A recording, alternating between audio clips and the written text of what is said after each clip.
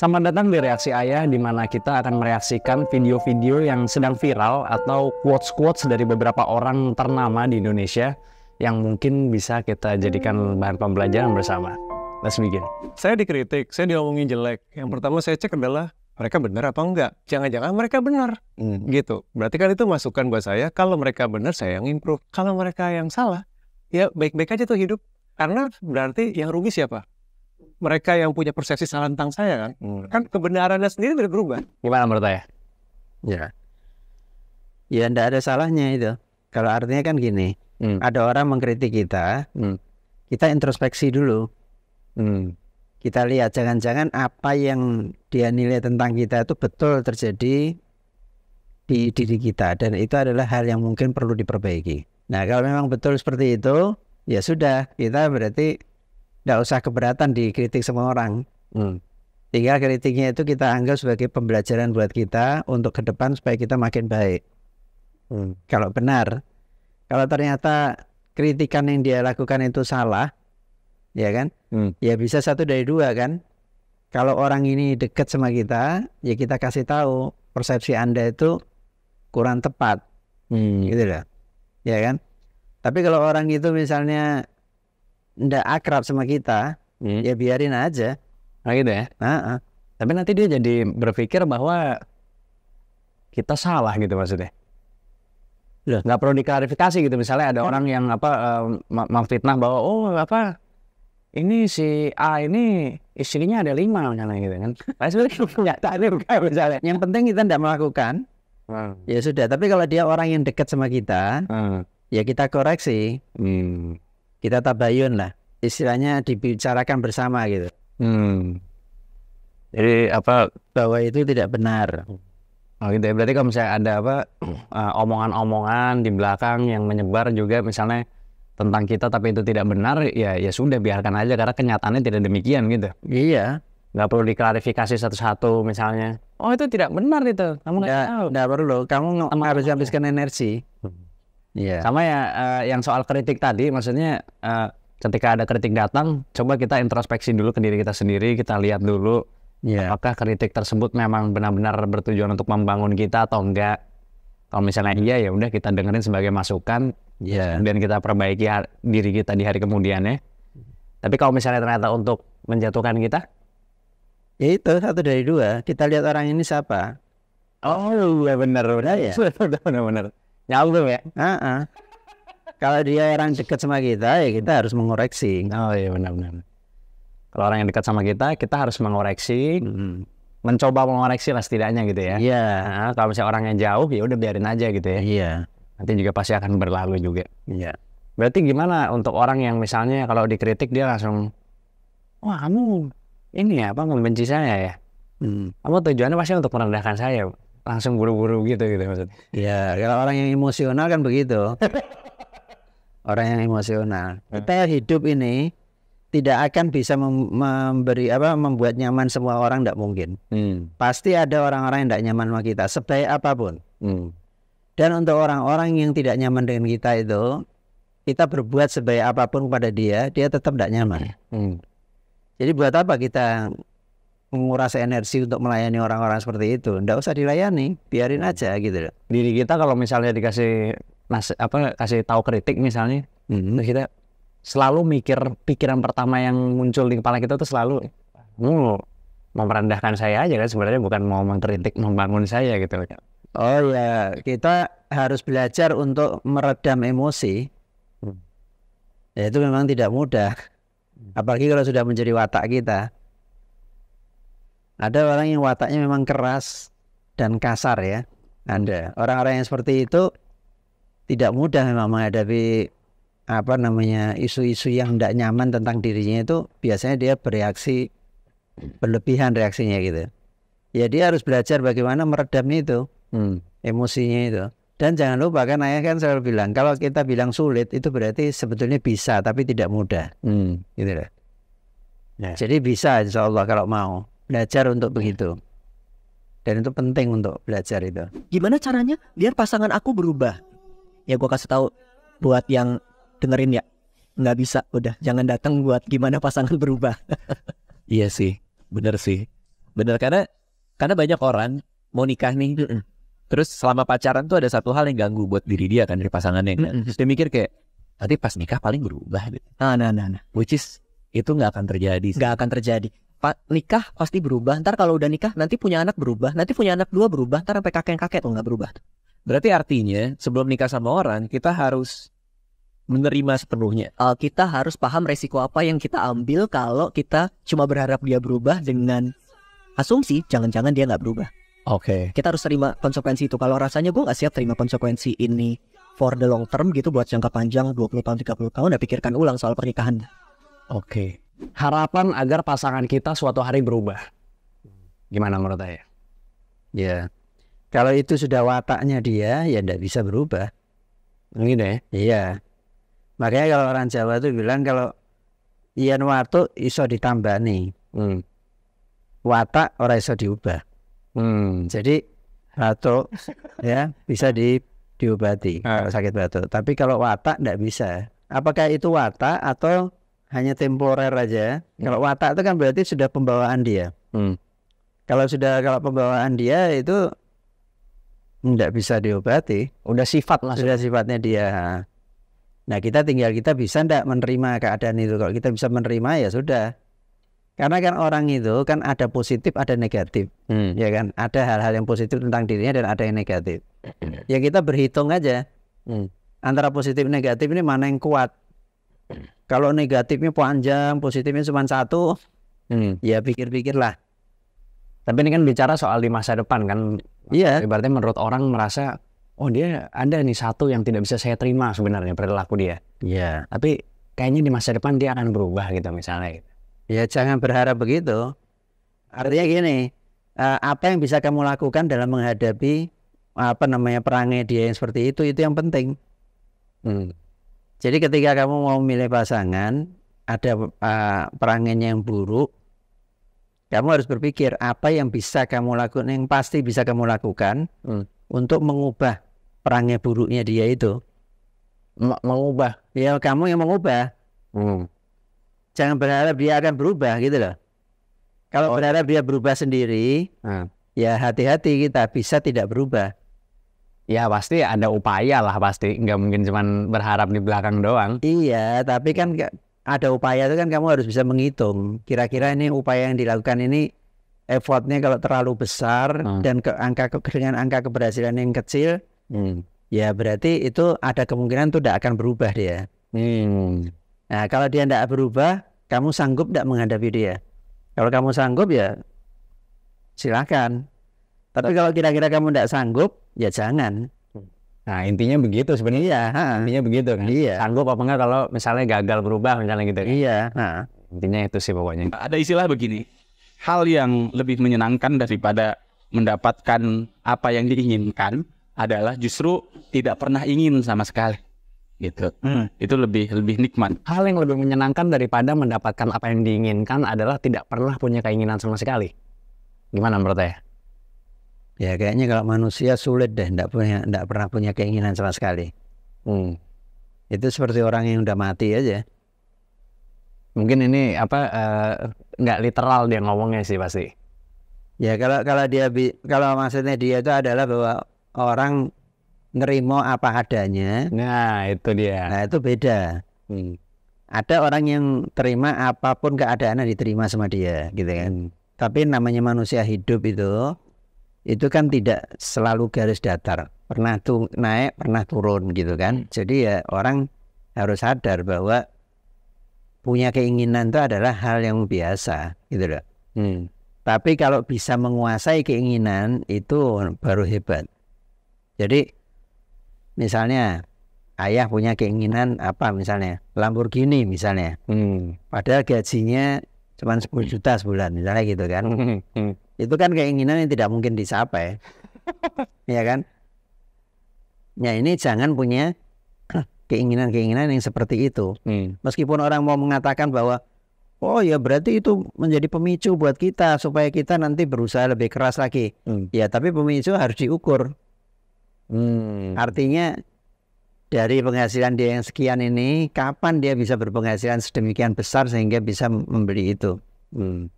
Kalau orang bisa mengendalikan keinginannya itu yang seperti itu, wah itu dia merdeka berarti.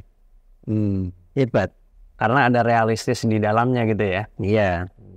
Ya maksudnya dari kata-katanya eh, ini kan Zawin tadi yang ngomongin. Zawin tuh ya kurang lebih sebenarnya seperti ini sih menguasai keinginan. Nggak mungkin kan kalau manusia nggak punya keinginan sama sekali sebetulnya gitu lah. Hmm. Tapi itu kata-kata dibikin agak sedikit hiperbola supaya sedikit Iya. lebih puitis gitu aja sebenarnya maksudnya pasti. Aku paham sih gitu. Maksudnya ya sama kayak tadi catchphrase dari luar negeri itu kan "Lo- losing all hope was freedom. Ketika kita tidak punya harapan, kita malah lebih bebas hidupnya gitu. Itu sih aku ya ada sedikit setujunya gitu. Apalagi kalau harapannya tidak masuk akal misalnya gitu kan. Iya. Salah satunya gitu kan mendingan nggak punya harapan sekalian gitu. Just doing your best every day gitu. Iya. Tetap melakukan yang terbaik tiap hari aja gitu. Mungkin yang dimaksud keinginan sini keinginan yang melampaui batas. Nah itu sebenarnya sih harapan itu. Jadi ayah eh, setuju kata-kata itu jika itu yang dimaksud adalah eh, apa namanya keinginan yang melampaui batas kemampuan. Hmm. Jadi manusia adalah menjadi seapa adanya. Mau siap maju, pribadi yang baik, memberi manfaat, itu lebih baik. Apa makna menjadi manusia menurut ayah? Ya. Kalau kita mengambil apa namanya filosofi yang banyak dianut oleh orang-orang yang memikirkan inti dari tugas manusia, Hmm. ya memberi manfaat kepada orang banyak. Hmm. Mau apa? Mau memberi manfaat kepada orang banyak. Karena eh, jangan lupa kata memberi ini membawa nikmat yang besar. Hmm. Coba kamu kalau apa namanya memberi kepada seseorang itu setelah kamu memberi rasanya beda. Hmm. Enak gitu ya. Nah, ada rasa lega, senang dan sebagainya. Karena memang manusia ini terutama yang dia harapkan tuh bisa selalu memberi. Betulnya gitu. Nah, kadang-kadang untuk memberi ini kan dia butuh menerima juga. Hmm. Kalau Anda kan tidak ada yang diberikan. Eh. Yang butuh menerima. Kadang-kadang dia terlalu fokus pada bagaimana dia menerima sebanyak-banyaknya. Mungkin dalam dalam pikiran dia mungkin kalau saya menerima sebanyak-banyaknya supaya saya bisa memberi sebanyak-banyaknya. Hmm. Tapi ketika dia menerima, dia terjebak. Hmm. Ya kan terjebak, lupa bahwa dia ingin men- menerima itu tujuannya untuk memberi. Oh dia jadi lupa gitu ya? Jadi lupa. fokusnya di menerima terus. Iya. Hmm. Akhirnya dia jadi rakus. Ya kan bahkan tega membuat orang sengsara dan sebagainya gitu. Kalau emang memberi itu nikmat, kenapa lebih banyak orang ingin meminta daripada memberi? Oh ya itu karena ada di bahasa sadarnya sebenarnya Eh, dia ingin punya banyak supaya bisa memberi banyak sebetulnya. oh gitu ya? Iya. Hmm. Karena pada hakikatnya semua orang itu kan baik sebetulnya. Ya kan? Ini hakikatnya begitu. Semua orang tuh baik. Yaitu dia ingin menerima banyak supaya dia bisa memberi banyak sebetulnya. Tapi ada kadang-kadang orang terjebak sibuk hanya mencari aja Hmm. supaya dia menimbun banyak ini dan ketika dia sudah terima dia lupa bahwa dia sebetulnya mencari banyak itu tujuannya untuk memberikan yang banyak Hmm. gitu loh. Wah, gue suka bahasa lu yang ini loh, Bang. Eh, kalau lu hidup cuma buat Sabtu Minggu, hmm, ini lu ganti kerjaan. Ya, ya. Gua kalau gua ngomong gini gimana? Kalau lu hidup cuma buat duit, mending cari orientasi lain. ya bagus, bagus. Ya, ada yang salah dengan itu. Kalau lu cuman hidup Sabtu dan Minggu doang, mendingan ganti kerjaan katanya gimana tuh ya? Artinya dia dari Senin sampai Jumat itu merasa tertekan Eh. gitu. Sehingga kerjanya itu terpaksa gitu. Iya. Ah. Iya, mak- maksudnya eh, mungkin lebih konteksnya lebih ke nggak cocok kali ya kerjaannya dia. Jadi dia nggak bisa happy di kerjaannya atau Ya. Karena orang yang bekerja seperti itu pasti tidak tidak akan mencapai prestasi. jadi kesannya kayak dia apa eh, Senin sampai Jumat itu kayak seperti zombie kalau sekarang bilangnya gitu. Seperti zombie ya kan ke kantor apa ini kerja terus Ya, ada yang gitu. Sama Minggu hidupnya gitu loh. Ada yang gitu. Eh, Ada orang yang begitu. Jadi dia kerja pun juga dari pagi sampai sore itu ngelihat jam terus. Nah, Karena pikirannya mau pulang. bukannya banyak. Hah? bukannya banyak, bukan ada doang. Saya ada ya orang-orang yang gitu ada. Eh, Kalau dianjurkan mendingan pindah kerja ya ya betul juga. Berarti ya dia tidak tertarik dengan pekerjaan itu. Hmm. Ya sudah pindah kerja aja, cari kerja lain. Kalau dapat kerjaan, Hmm. kan kebanyakan orang yang gitu itu kan karena memang tidak ada kerjaan lain, akhirnya dia bertahan di situ terus kan. Hmm. Tapi ya itu Senin sampai Ming sampai Jumat itu dia seperti di penjara. Mungkin apa eh, karena kerja itu emang udah capek sekali ya pagi masih datang ke kantor terus habis itu sampai malam kalau sekarang banyak kan habis maghrib lah baru pulang gitu kan. Terus apa eh, pulang nanti naik kendaraan umum misalnya di kereta ramai segala macam akhirnya nyampe rumah udah capek tidur pagi bangun lagi. Ya. Ada orang yang begitu. Maka dari itu berarti kayaknya lebih worth it nyari kerjaan yang cocok gitu ya maksudnya bilang cocok lah bukan bukan Ya. dicintai lah gitu. Ya, Yang tentu cocok gitu. tentu dia akan suka kalau bisa dapat pekerjaan yang dia cocok. Hmm. Itu biasanya orang-orang yang terpaksa.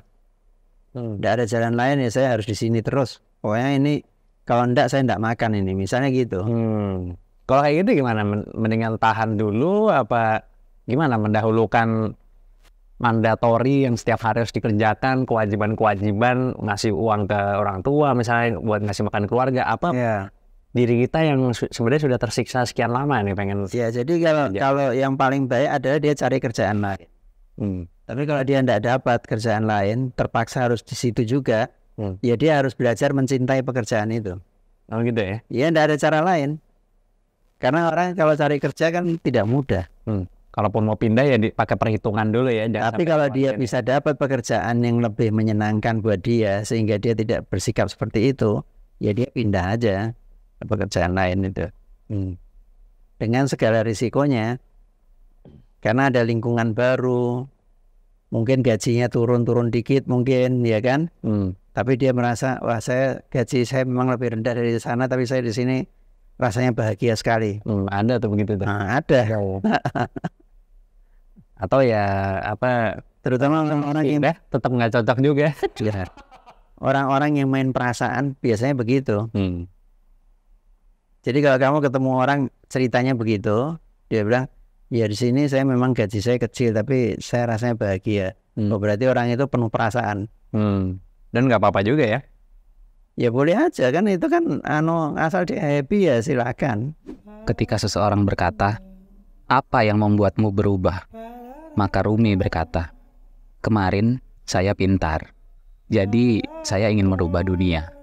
Hari ini saya bijaksana, jadi saya mengubah diri saya sendiri." Ketika pintar berpikir untuk merubah dunia, tapi ketika bijaksana berpikir hanya untuk merubah dirinya sendiri. Kenapa begitu ya? Ya. Karena kalau mau mengubah orang lain, kita sendiri harus bagus. Hmm. ya kan kalau kita punya pikiran misalnya kita sombong ya kan merasa kita paling pintar paling benar ya kita tidak akan bisa mengubah orang lain sebelum kita merubah diri kita sendiri Hmm. jadi ubah dulu itu sikapnya ya kan menjadi orang yang baik siap menolong orang siap berinteraksi dengan orang Hmm. nah setelah itu baru dia mempengaruhi orang-orang lain maka dia bisa mengubah dunia juga orang begitu Gitu ya. Nah, tapi jangan jangan membayangkan mengubah dunia itu seluruh dunia dirubah. Hmm. Tapi artinya dia bisa berbuat untuk kebaikan dunia, untuk kebaikan masyarakat, gitu lah. Hmm. Yang itu tidak mungkin dia kerjakan kalau dia punya sikap angkuh. Dimulai dari dirinya sendiri dulu gitu maksudnya. Mulai diri sendiri, ya. Tapi kan bisa aja kita merintah-merintah orang itu bisa kan. Eh kamu begini tapi kita sendiri kayak gitu punya kan bisa-bisa aja kan sebenarnya kan sebagai pemimpin misalnya gitu kan. Ya, tapi kamu berarti kamu harus besar dulu, baru bisa melakukan itu. Oh gitu ya. Iya. Sementara kalau orang yang angkuh ya, yang merasa pintar itu kan berarti angkuh dia. Hmm. Biasanya dia belum besar. Kalau dia udah besar dia ndak ndak akan angkuh. Hmm.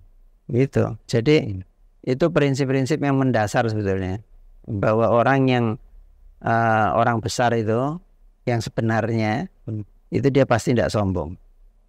Orang yang bijaksana kali ya. Orang yang berbuat besar untuk kemanusiaan tentu bukan berbuat Hmm. besar untuk kejahatan. Mungkin itu yang membedakan kali ya. Maksudnya eh, Rumi mungkin kalau orang pinter doang berpikir untuk merubah dunia karena dia cuman berpikir untuk nyuruh-nyuruh orang aja gitu. Kalau cuma pinter doang gitu kali ya. Ya. Mungkin begitu kali ya. Tapi kalau bijaksana ya dia ikut Dan itu karena dia sendiri. merasa dirinya pintar. gitu loh. Dia merasa dirinya hebat dan cara dia yang paling benar gitu. Saya Iya. harus mengikuti gitu. Semua orang miku- harus mengikuti dia gitu loh. Maka dia akan merubah dunia. Hmm. Tapi kalau orang bijaksana ya perubahan datang dari dalam diri sendiri dulu, Dimulai dulu. ah, ah. kemudian nanti mungkin dicontohkan atau Ya, diajarkan. Hmm. Karena dia kan mau ngasih tahu orang kan harus dirinya dulu bagus. Hmm. Gitu loh. Kata-kata hari ini teh? Tuhan menjauhkan beberapa orang dari hidupmu karena ia mendengar percakapan yang tak kamu dengar. Wahai! Tuhan menjauhkan beberapa orang dari hidupmu karena dia mendengar percakapan yang tidak kamu dengar katanya. Iya. Maksudnya di batin. Oh iya di dalam hati ya maksudnya. Mm-mm. Atau di belakang juga bisa jadi juga. Ya yang pokoknya yang tidak dinyatakan gitu kan. Gimana menurut saya? Ya karena kan orang orang ini kan kadang-kadang kan yang ditampilkan sama yang ada dalam hatinya berbeda. Hmm. gitu loh. Jadi eh, sementara Tuhan itu kan mengetahui manusia yang lahir dan yang batin. Oleh karena dia mengetahui manusia itu yang lahir dan yang batin, maka Allah memberikan pertimbangan yang terbaik buat dia. Kalau saya dengar di batinmu begini, Hmm. di perilakumu begini, apa yang paling baik bagi kamu ini. Yang kadang-kadang kita tidak tahu. Hmm. Kita merasa kok doa kita tidak pernah dikabulkan sama Tuhan gitu. Kok ikhtiar saya gagal terus misalnya gitu kan. Hmm, Padahal itu kan tujuannya adalah untuk menunjukkan yang tepat supaya batin dan lahir itu bisa nyambung gitu. Hmm. Itu kan kata-kata yang sangat filosofis. Jadi bisa aja apa Allah menjauhkan orang dari kita itu karena bisa jadi dia tidak baik untuk kita gitu ya. Iya. Karena dia tahu apa yang ada di dalam batin kita. Hmm. Misalnya gini, saya mau menikahi orang ini Hmm. di dalam hati ya tapi ya. Hmm. Saya mau menikahi orang ini karena orang ini kok baik sekali. Hmm. orangnya halus ya kan kalau bicara baik dan orangnya pinter Hmm. di dalam batin kita gitu Hmm. tapi Tuhan melihat "Hmm, keliru kamu Hmm. ini orang tidak begitu gitu loh Hmm.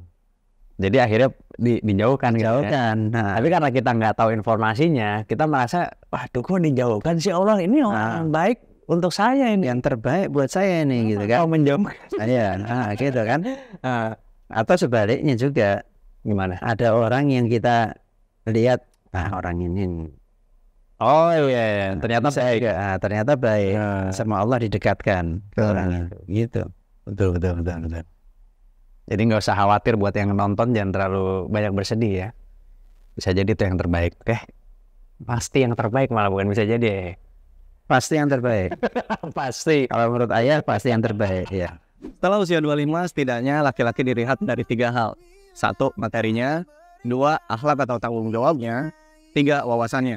Gue pernah bilang bahwa laki-laki tidak dapat dicintai kecuali saat dia memiliki sesuatu. Dan ketampanan hanya bertahan saat kita remaja. Selebihnya, wanita realistis. Laki-laki dilihat dari apa ketiga hal tadi pokoknya selain fisik gitu. Gimana menurut saya? ya tidak salah itu itu menjadi pertimbangan seorang wanita itu untuk mencari pasangan hidupnya Karena di atas umur 25 katanya wanita sudah realistis. Satu materi, dua akhlak, tiga wawasannya katanya. iya Gimana itu? ya betul materi karena eh, orang hidup itu butuh materi orang hidup itu butuh materi Hmm. kemudian yang kedua akhlak ya kan pastilah menjadi pertimbangan misalnya ini suka Hmm. mabuk-mabukan atau suka melakukan perbuatan-perbuatan yang tidak baik sehingga bisa mengganggu eh, kestabilan rumah tangga Hmm. dan yang ketiga wawasan orang kalau laki-laki kalau wawasannya sempit kan kasihan istrinya Hmm. Iya kan Nah, setiap minta pandangan-pandangan dia tidak bisa ngasih pandangan gitu tahu mulu gitu ya. iya gitu loh Tapi kan wawasannya luas tapi tiap pulang kantor capek mulu kan sama sih nggak tahu juga jawabnya. ya itu kan ah nggak tahu saya udah capek nggak tahu sama aja. loh enggak kan kan apa namanya setiap hari harus menunjukkan prestasi-prestasi materi wawasan dan ini bukan Nggak tahu lah saya udah capek. tapi orang kan melihat orang melihat dalam pergaulan kan orang kan berkenalan Hmm. ngobrol kan dia tahu nanti kan Hmm. oh ternyata orang ini wawasannya sempit banget misalnya gitu Nah, karena pemimpin rumah tangga kan diharapkan laki-laki jadi pemimpin iya. nah jadi pemimpin kalau wawasannya sempit gimana susah. Nah iya, Semakin sempit wawasan kita ya semakin kita sulit memahami juga, memahami Iya. situasi sih. iya karena apa? Dunia ini kan dinamis. Hmm. terus mengalami perubahan. Tapi kalau kita mikirnya tetap sama dengan 30 tahun yang lalu dengan sekarang sama cara berpikirnya, Hmm. ya kita tergilas. Jadi penting juga itu ya. Penting. Penting untuk apa pe- pemimpin sehingga bisa memberikan keputusan yang apa terbaik untuk segala semua pihak lah ibaratnya. Ya. Contohnya untuk menambah wawasan ya mengikuti konten ini misalnya, Nah, amin. ya kan? Karena di sini dibuka terus wawasannya itu supaya orang itu melihat kehidupan ini tidak seperti garis lurus saja. Tidak seperti hitam dan putih gitu. Iya. Kan orang dewasa masih kurang dewasa ya sampai nggak tahu kalau hidupnya abu-abu itu. ya. Tapi saya setuju kalau hidup itu abu-abu tuh. bukan abu-abu kalau hidup itu ada merah, kuning, hijau, biru, segala macam. Iya, maksudnya di apa bukan hitam dan putih gitu. Kan orang bilang kan hitam dan putih aja. Ya, orang Nah, bisa ngambil sikap abu-abu bisa. Hah? Orang bisa mengambil sikap abu-abu tengah-tengah hmm. di antara hitam dan putih. Hmm. Situ baru kita bisa lihat apa keindahan dunia ya, mengerti keindahan dunia ketika kita sadar bahwa tidak selalu hitam dan putih gitu. Ada warna lain juga. Ya.